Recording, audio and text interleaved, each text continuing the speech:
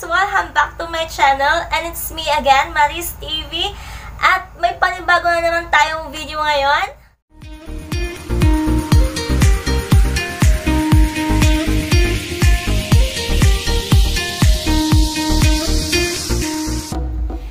Ito ay kadugtong ng nakaraan po nating video which is yung how to create a YouTube channel.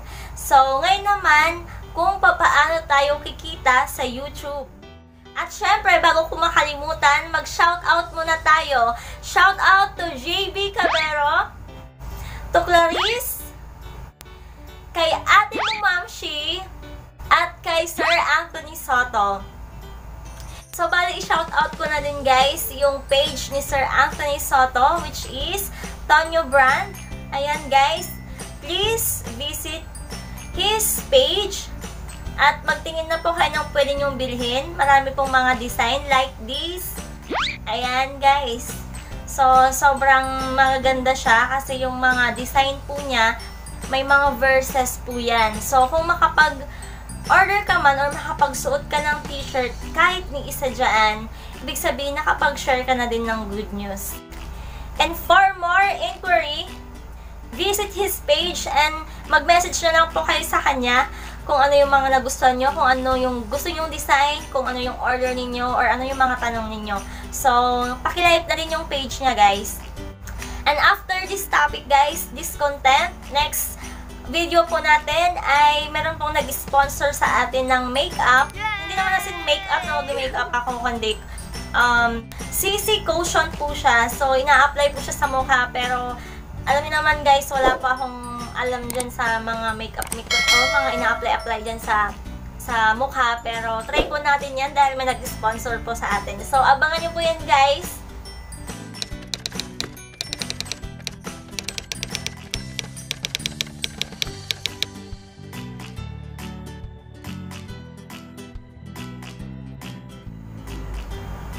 So, let's proceed to our content for tonight.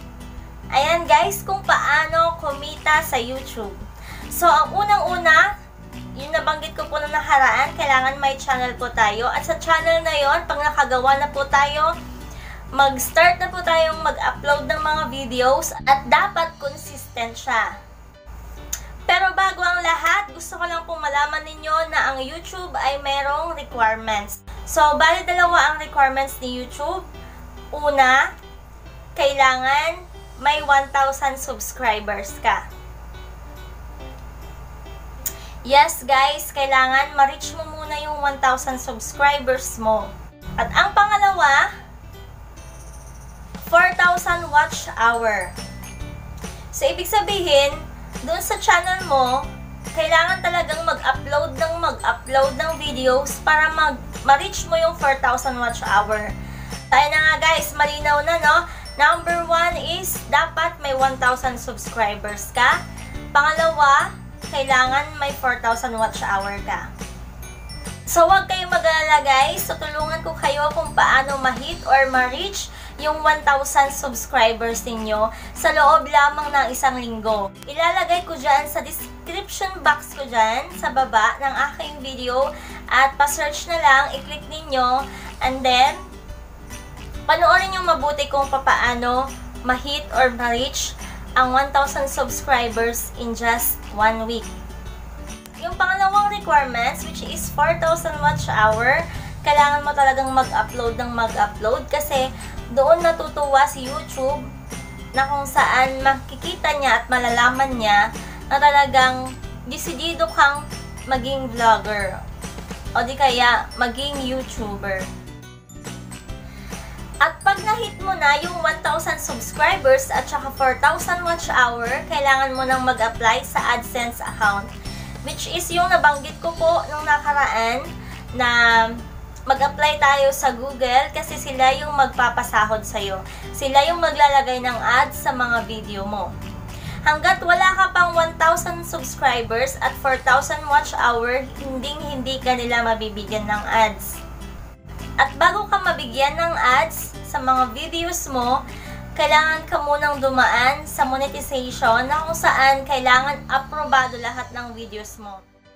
May mga rules po tayo sa YouTube na pinagbabawal Number one dyan, yung mga um, malalaswa, mga nakaw na video, mga hindi mo pagmamayari, hindi yun po pwede, at bawal magmura.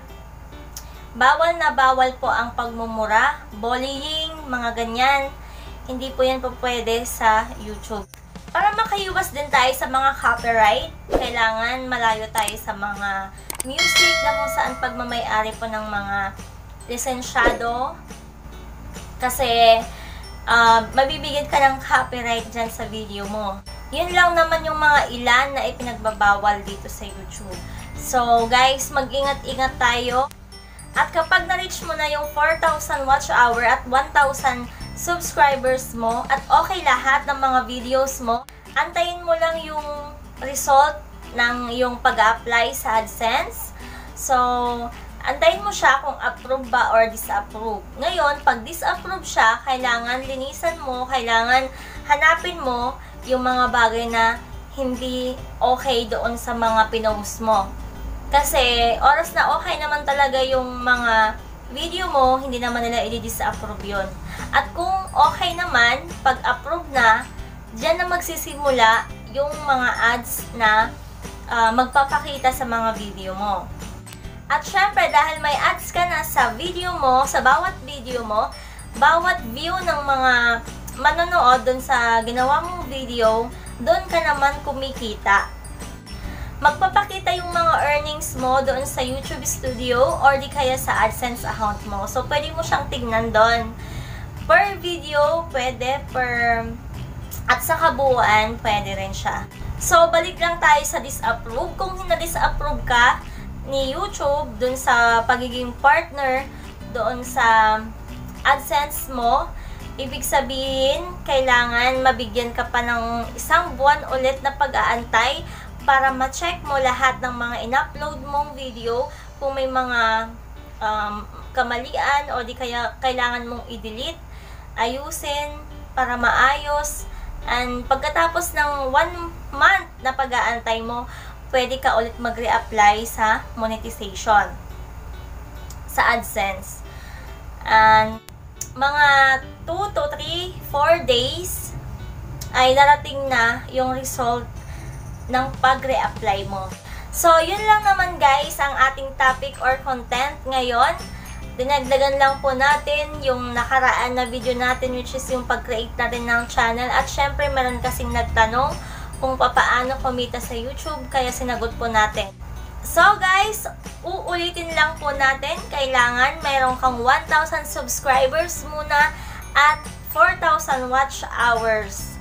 So, ayun lang naman guys. Dito na po magtatapos ang ating video for today. At sana naliwanagan po kayo at nakatulong itong video na to sa inyong mga katanungan. At syempre, good luck and God bless sa inyong mga channel guys. Kaya natin to. So, yun nga. Thank you for watching. Don't forget to subscribe and click the notification bell para ma-notify ka sa susunod kong video. Thank you guys. Bye-bye!